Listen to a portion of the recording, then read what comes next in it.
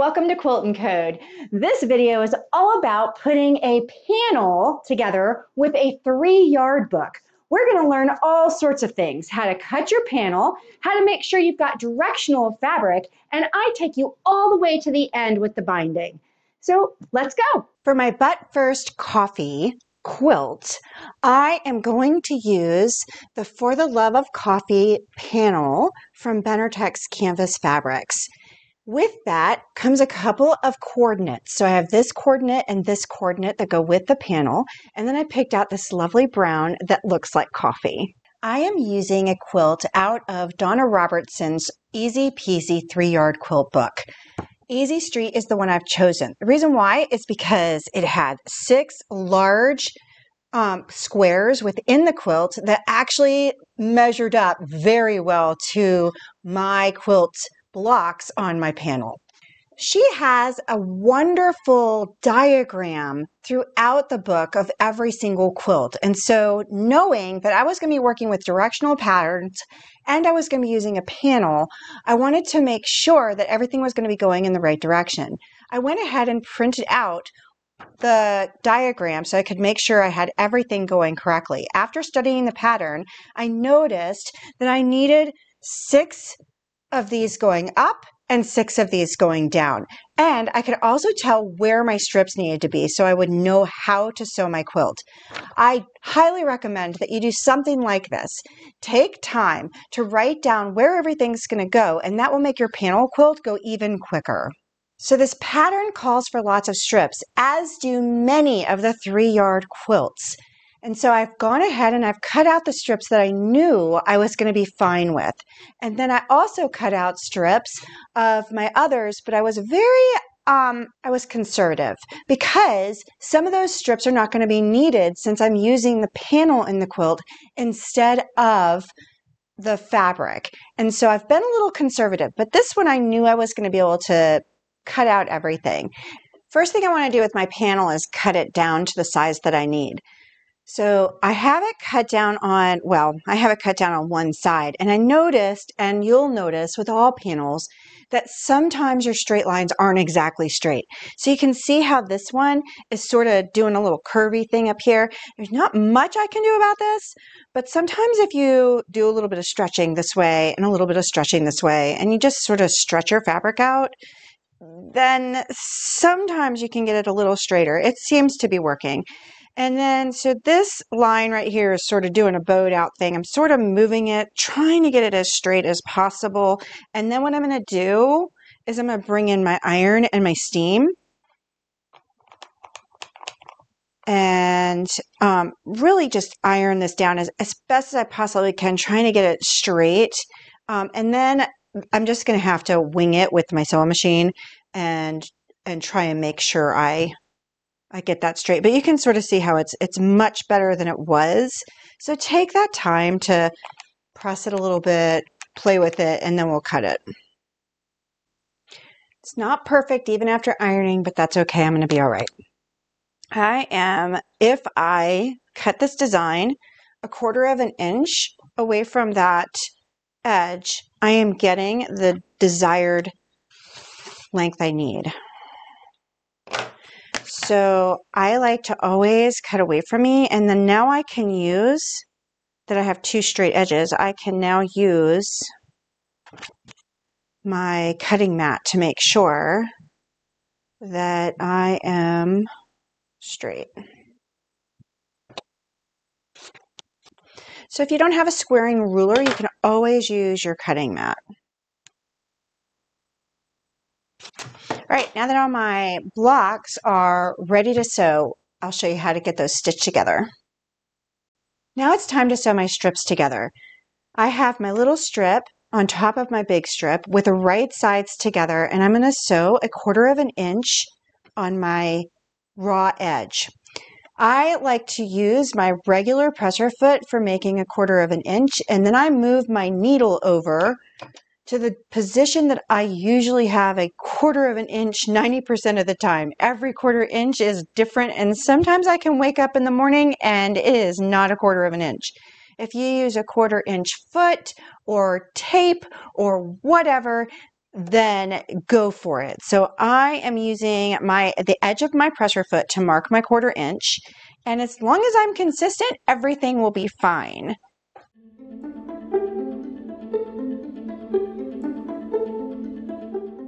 Whenever I am done with all my, my seams, I like to press everything open just so that I know everything's going to be crisp and clear and clean. I like to press toward the dark. So what I'm going to do is I'm going to turn this over and then I can warm this up just a little bit and turn it over just like this. And that will press my seam toward the dark. Now, it could be when I go to put everything together that I haven't pressed them in the right direction, and that's okay. And sometimes your book or your directions will tell you which way to press everything so that it will go in the right order. Now that I've pressed everything, I'm ready to make my next cut. So I always start um, by taking off my salvage because I do not want that salvage right here, this raw edge here in my quilt.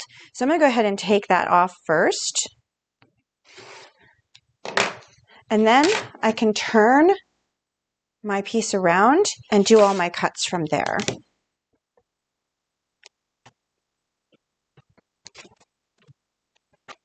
I am measuring up vertically and horizontally with my edge. And so I can already see that over here I'm a little curved off and that's fine. So I'll go ahead and trim that off. I'm going to make my straight cut here, move this out of the way, turn this over, and just straighten that edge right up.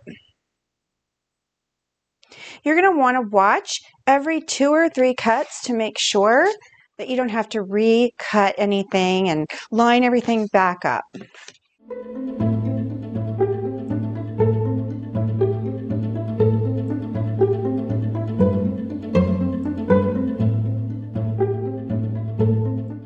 To cut my directional cup fabric, I went back to my diagram.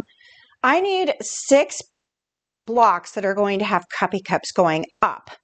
And then, um, so for those coffee cups fabric that needs to be going up, the stripe fabric needs to start on the top. For the coffee cups that are down here on the bottom of the block, the coffee cups need to have their stripe on the bottom. And so it helped me to have my diagram telling me exactly where my stripe started.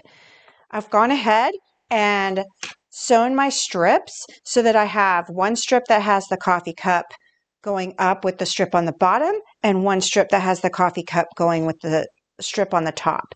I did do a little bit of cutting and pasting there because I didn't need um, all of that fabric. I just needed half a row of one part, and so I was able to split that fabric in half. Now that I have all my pieces cut out for my first cut, I am going to put another piece on one of the sides. Now, for the fabric that doesn't have a direction, it doesn't matter really which side it goes on. It just needs to go on a side and then I can flip it however I need it. But with my other pieces, I do need to make sure I'm putting it on the right side. I am going to go ahead and stick them right sides together and get the, the ones that don't have any worry to them, and then I will worry about the other ones.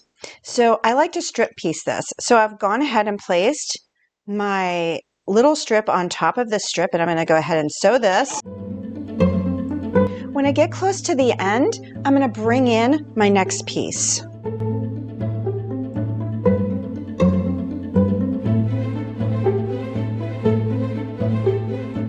Now I'm being particular about how I want these strips to go because I have my directional fabric. I have gone back yet again to my diagram. I want to make sure that I have a strip on the top and a strip on the right for these top blocks. So I am going to go ahead and do all of my coffee mugs that are in the top right the same way.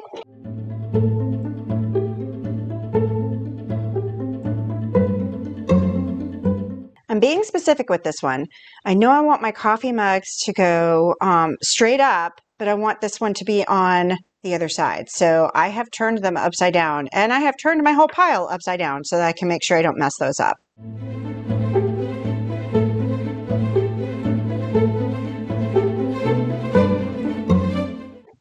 before I iron these, I'm just going to simply snip them apart. It'll make it easier for ironing. And then I can trim them down so that they are the correct size. Um, for this one, I'm actually going to simply come from the front because I have a seam over here. It'll make it a lot easier if I simply go from the top and push that seam over. There may be a time during the quilt that I need to change that, but I'm not sure of it right now. I also like to go ahead and press and trim as I go so that I can make sure and catch any mistakes before they happen. All right, now I am going to trim down. So I am just looking and lining up with that horizontal, I mean vertical line right there, and I'm just going to trim that right off. And I'm going to do that with all of them.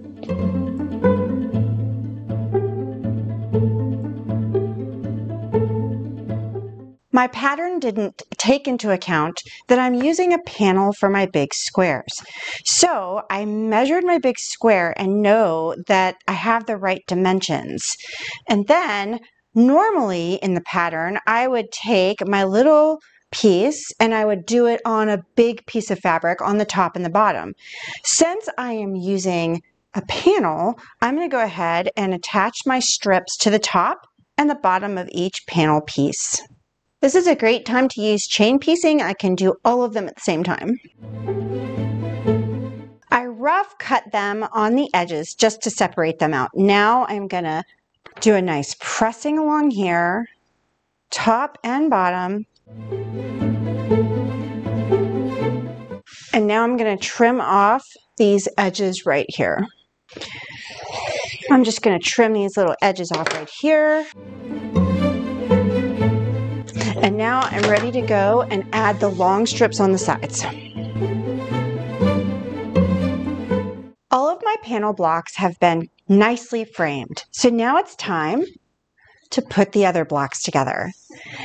All this attention to detail and making sure that my cups stay upright has paid off. And so everything is ready to go. This is just a simple four patch to put together now. So I'll put this one together to this one and this one together to this one, and I will streamline the process all the way down. Before I start sewing, I went ahead and placed all my pieces into piles and so that I know everything's going in the right direction. And now I can just take these piles that are six, six, six, and six over to the side, bring my sewing machine in, and I'm ready to go. Since my piles are here, everything's nice and organized, and I can just get sewing.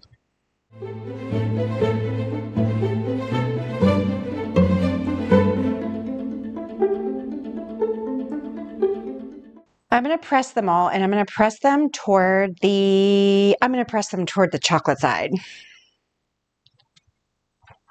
And the reason why I chose the chocolate side is because if you'll notice, that's how the seam's going to want to go anyway.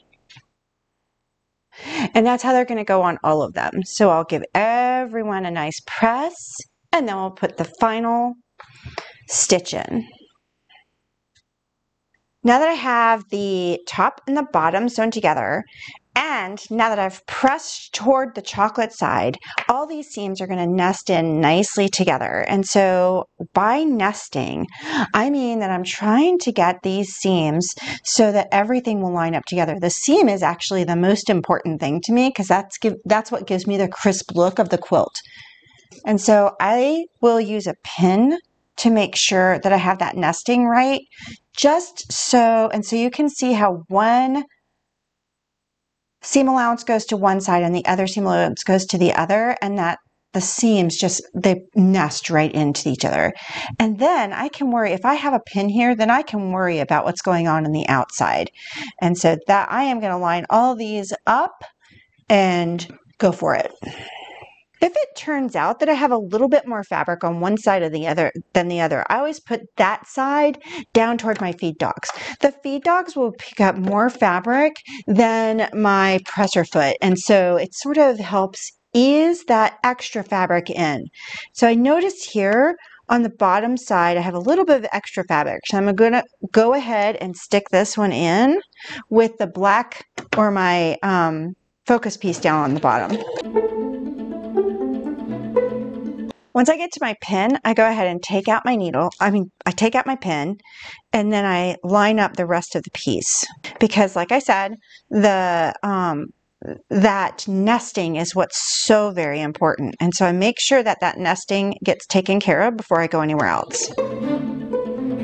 Because I'm letting my machine do all the work, I don't have to worry about pushing or pulling or prodding. I can just worry about easing my fabric in if necessary. And I'm going to do that with all my blocks. I'm blessed to have a nice table so that I don't have to get down on the floor, but it's really important to make sure that your directional fabric that we have spent so much time making sure is going in the right direction stays in that right direction. So use the floor, use a bed, use a dining room table, whatever you need to do to lay your stuff out to make sure everything's going in the right direction. Once I have it all laid out in the right direction, I like to um, fold over from the center so that I can stitch along that line and take it straight to the sewing machine. I can now chain piece down the whole side of my quilt. So I'll start with those first two blocks on the left, and then I'll add that third in a second. With any quilt and with any pattern, it's so important to make sure that you're squaring as you go.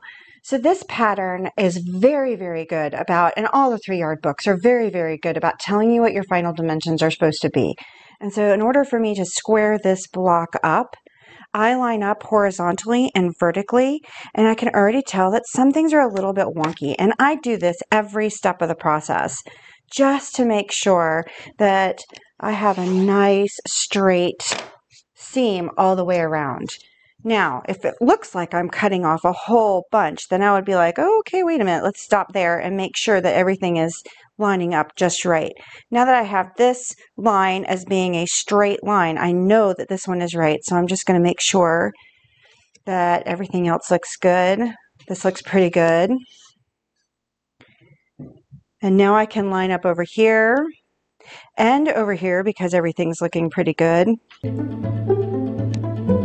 just a little bit down here on the edge square it all up. And so that's why, the reason why there's so little for me to square up is because I've been squaring as I go along. And so everything's lining up really well. I've pressed everything really nicely so that all my seams are pressed toward my big piece right here. And that way my seams here are going to nest really nicely. Because my strips are getting longer and longer, I am going to go ahead and pin this row. So I take my top one right here and put it over the next one. And I do that with the, since I have four rows, I'm doing that with the other two as well. And I start by pinning my nested seams. So these are the ones that I told you I moved toward the inside. So I go ahead and pin those first. Then I like to pin on the ends just so that I have something holding everything in place for when, especially because I like to go ahead and pin everything and then sew everything. So everything's pinned in place and then I can just strip away when I get to the sewing machine.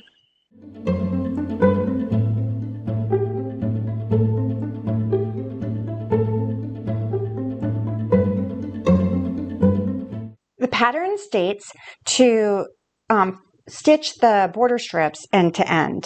But I like the look of putting them together in a mitered style better. So in order to miter them, I place my first strip down and then I place the second strip down perpendicularly. I want to draw a line from one corner to the other, but I want to make sure that that line is going in the right direction.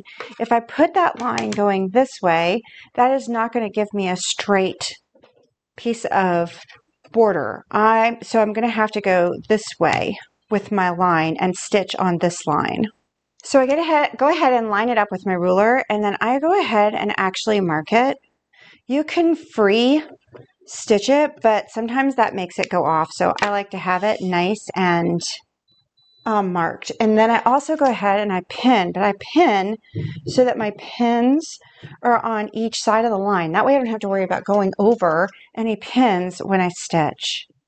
And then I do this with all my borders. So I just bring this over and I'm going to perpendicularly put the next piece on top, right sides together. Make sure that I'm stitching the right way and then draw my line.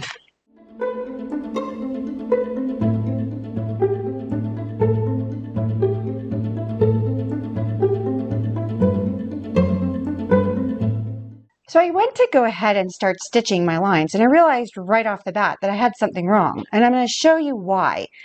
I I made my line going in the opposite direction of what it needed to be. If I were to stitch this the way it was, then my fabric would not be doing what I needed to do. My line needed to come this way.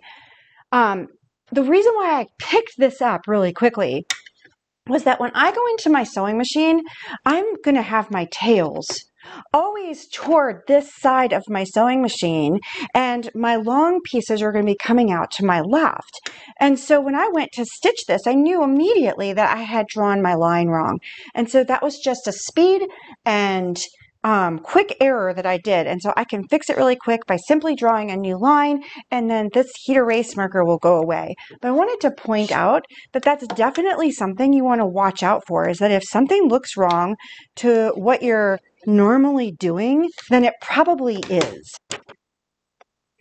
So when I do this, I know that these little tails are always going to go towards the inside of my machine and the long ones are going to go toward the outside. And then I just follow straight on the line.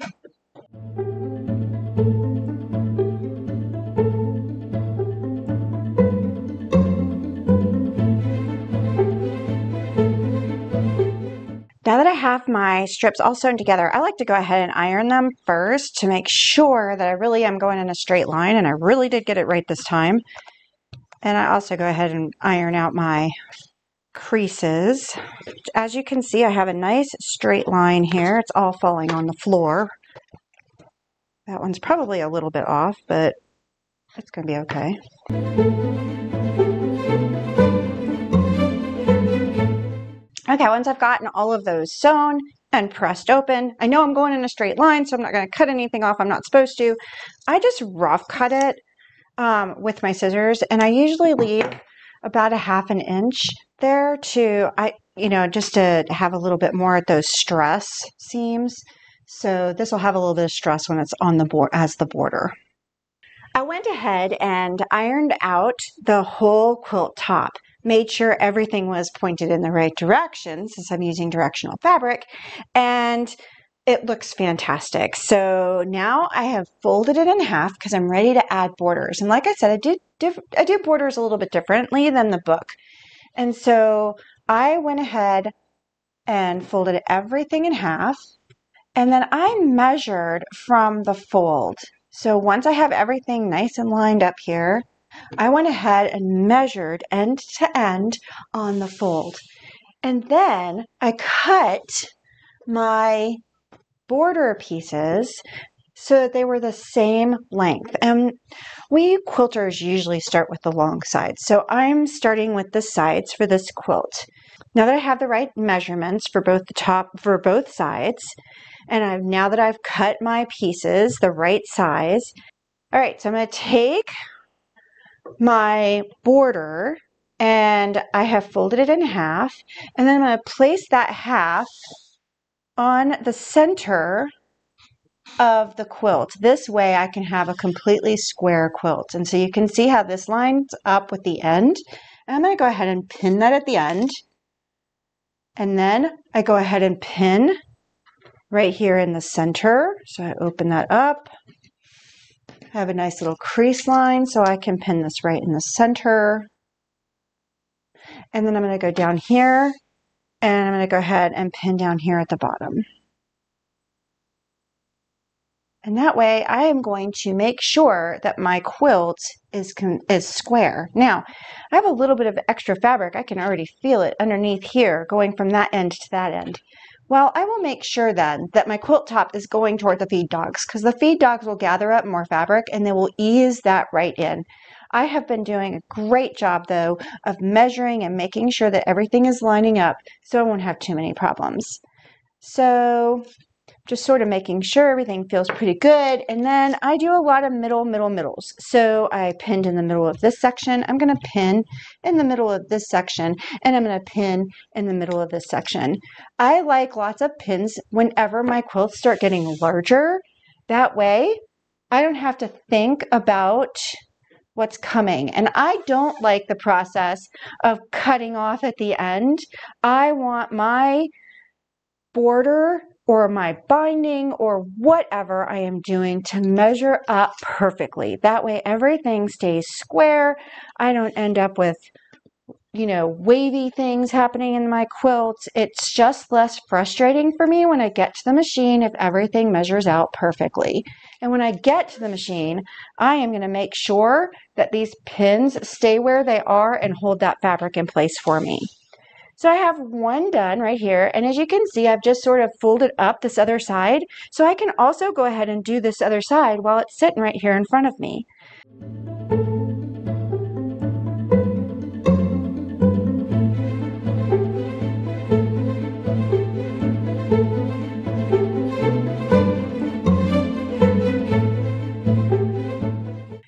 Pressed my quilt again so that I have my new border on here. And then I measured from the hat, I took it and folded it in half and measured my half point from end to end and then cut the exact amount of new border that I need. I'm going to do the exact same thing I did before. I am going to fold this border in half. And I, um, on this top, I had the panel piece. And so I had to fold my quilt top in half to make sure that I have the middle. So I have the middle. I'm going to knock that right next to that pin. And you can see I'm a little bit short at this end, but I'm going to make it work. It's going to have it's going to be just fine.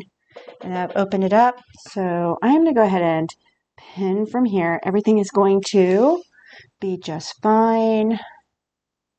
And go ahead and pin my center and go ahead and pin down here. And then I do a little shake just to make sure everybody's going to where they need to go.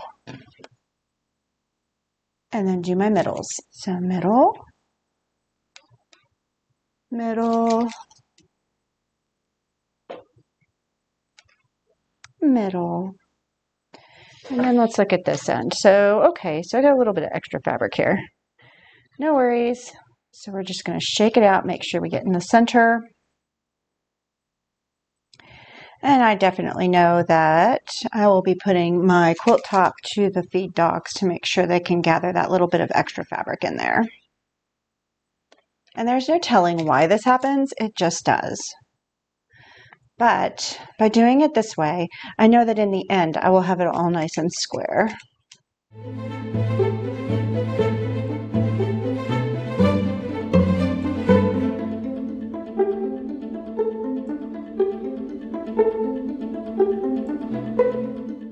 So the only thing I need left to do with, uh, with this quilt is to put on its final border and then it can go to the long arm machine. So I have um, marked the middle points of my longer sides and I have folded my border, my final border in half just like I did before. And now I'm lining it up, pinning here in the center, pinning down here at the end, and then doing my middle, middle, middle. And had this been um, a piece that just was way too long or way too short, I would have gone back and remeasured um, just to make sure that it really was the amount that I wanted. All right, let's sew. Now that the borders are on, it's ready to go down to the long arm and I can't wait to show you the long arm design that I have picked out for it. So let's go downstairs and get long arming. My binding consists of two and a half inch strips. So I've already cut five two and a half inch strips to go around my quilt. Three yard quilts don't usually ask for um, two and a half inch strips, but that's what I'm most comfortable with. So I always allot for a little bit of extra fabric for my bindings. I'm going to put my strips together just like I did when I was doing my borders. And so I am doing a mitered or a diagonal seam because I think it leaves for less bulk as it goes around the quilt. So I place the um, pieces right sides together perpendicularly. I place a line going across there and in order to check to make sure everything's going in the right direction, you can use your ruler to place on that line to make sure that you're going in that direction. And then I always place a couple pins just to hold the fabrics in place. And then I go and stitch on the line. It is normal for me to go ahead and do all this drawing, all this pinning at one time so that then I can go straight to the machine. Because I've done my prep work and pinned and marked everything, I can just chain piece through. I am sewing directly on the line.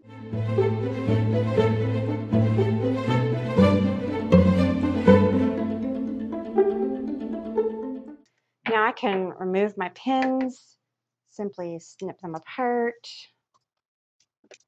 And I'm gonna make sure I'm going in the right direction before I do anything. Good, so now I am going to clip down to a half an inch and head to the ironing board. I took my long strip and I folded it in half and pressed it really well. Now I've come to the end. And before I even get started, I'm gonna go ahead and create my finished part. So I have folded over so that I am perpendicular. And now I'm simply gonna cut off. I even ironed that so that it's nice and neat. And now I'm gonna cut that off.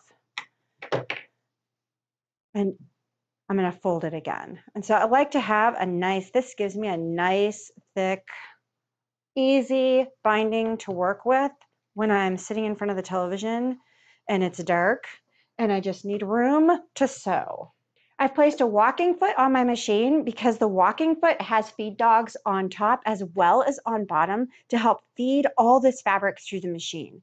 I have the tail end of the binding that I have already folded over. I am starting on the bottom of the quilt and I place the tail end about three to four inches behind where I'm starting to sew. That way, when I get to the other end of the quilt, I can just simply clip and tuck. All right, so here we go. I'm using a quarter of an inch stitch all the way around, but I'm gonna stop a quarter of an inch before I get to the corner.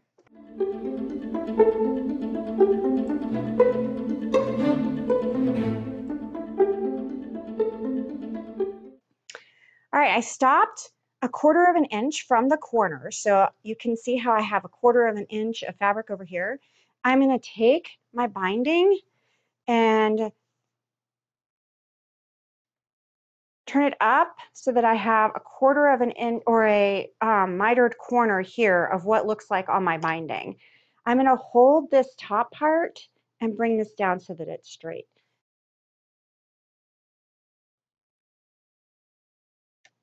Now I can start stitching right here until I get to the next corner.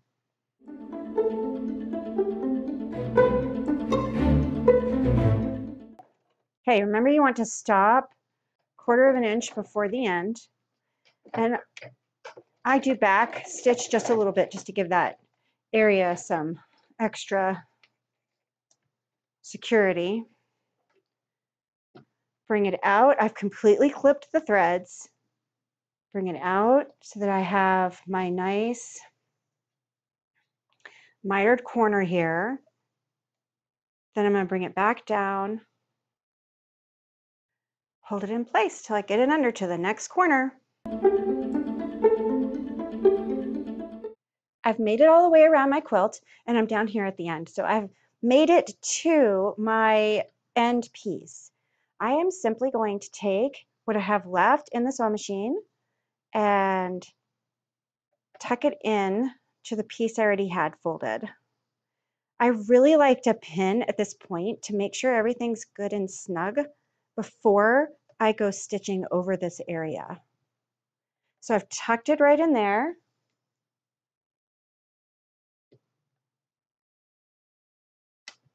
And I usually pin in two places. I pin at the beginning of that cut and and at the end of that cut. And then I can just not worry about anything slipping out as I stitch over.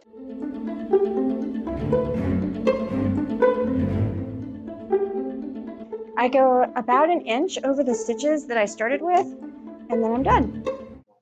And now for the finishing touch. I use a single strand of thread, but you are welcome to use a double, whatever's most comfortable for you. I have knotted the end, and I'm gonna come up inside the binding. I have gone ahead and used some binding clips to place the binding in place here at the opening. Okay, that's where I finished up and started up and when I was um, sewing. So now I am simply going to grab just a little bit of the binding and then I use my needle to go inside the quilt and come up in the binding again. And that holds it down and you can barely see the stitches. And I will continue that all the way around the quilt.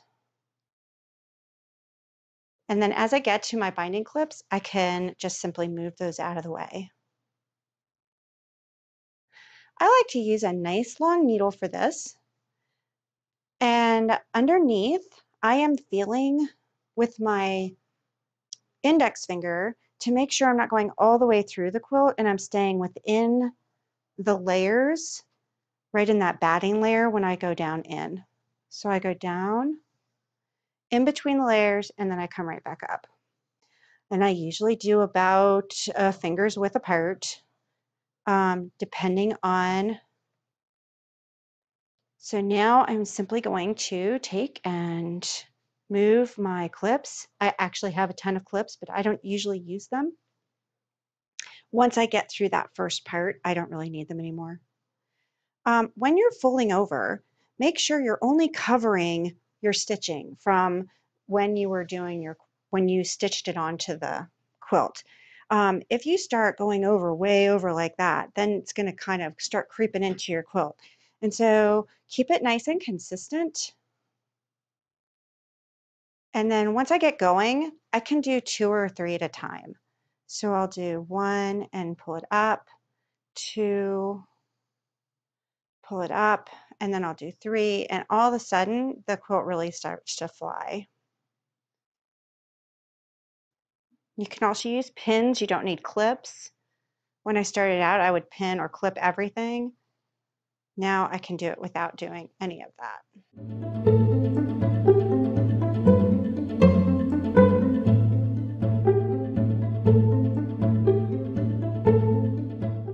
So now that I'm getting to the corner, I'm going to go ahead and show you how to do that. So I am going to clip that down in place. And so what, how I do my mitered corner is to fold this over, get that all nice and tucked in, and then I start by the, the side that I'm on. And I just bring that all the way over to the edge. And then I fold that over like that. Once I get that corner looking just the way I want it, I either stick a clip in here or I also can stick a pin. Pins sometimes work better for me because then I can make sure I have all the layers. And the way I stick the pin in is a few, I actually do a few little things just to make sure it holds it good and tight. And then I can stitch and not worry about it.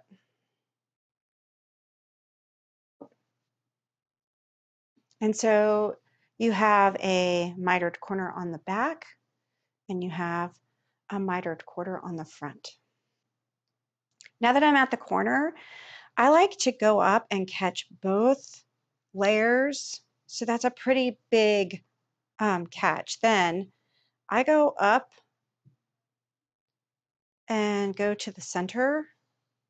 That way I get a little bit more stability in there and then I go back down. Pick it right back up at that corner and continue down the other row. I hope you have enjoyed this video and putting panels into quilts. We're going to do many more videos like this. So follow us and like and subscribe our YouTube channel. We're on Instagram and Facebook. And you can also visit us at quilt-n-code.com. Happy quilting!